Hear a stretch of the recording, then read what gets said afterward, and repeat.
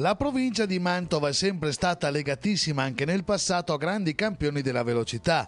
Nel corso degli anni la passione dei virgiliani non è mai tramontata, anzi è continuamente stata alimentata da grandissimi piloti che continuano a togliersi delle grandi soddisfazioni per sé e per tutti i loro fans. È il caso di Ivan Goi, 34enne di Viadana, che qualche giorno fa ha conquistato in sella la Ducati il tricolore Superbike al Mugello per il terzo titolo nazionale dopo i due collezionati con Aprilia nella Stock 1000 nel 2010 2010 e nel 2012. Il pilota virgiliano è partito in gara con 19 punti di vantaggio su 25 in palio sull'inseguitore Matteo Baiocco, tester ufficiale Ducati. Col terzo posto di domenica si è garantito il titolo tricolore, collezionando l'ottavo podio stagionale. Quattro successi targati Goi nel campionato italiano Superbike 2014 per una stagione trionfale che ha messo in evidenza tutta la grinta e la passione di un pilota che verso la fine della carriera si sta togliendo delle soddisfazioni senza fine.